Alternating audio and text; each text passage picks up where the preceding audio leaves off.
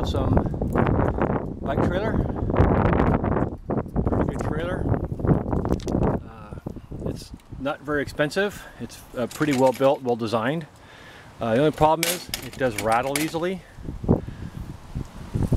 The very solid locking pin there holds it together real well.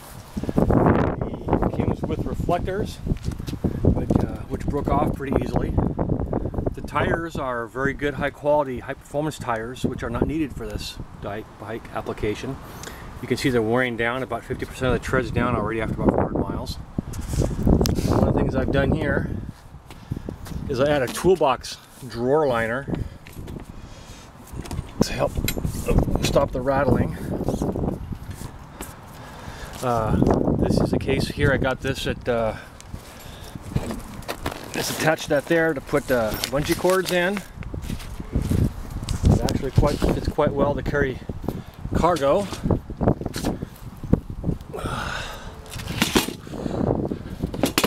So it carries cargo quite nicely, tows well. The only problem is the wheels are set back.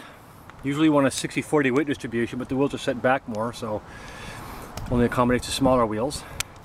This is the Grizzly 16 quart, holds it quite well. It will also hold the Yeti 45 quart cooler now this is heavy. When you put this in there, that adds some weight and you can still feel the weight, even when you tow it with a tandem bike. Uh, the stickers I added myself.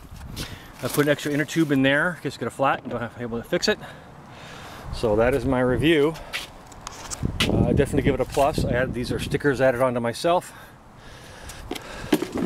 So that is a review of the Aosom cooler, here's here's the extra inner tube here that fits the tire. This is added on. This is an accessory that I added. So there you go.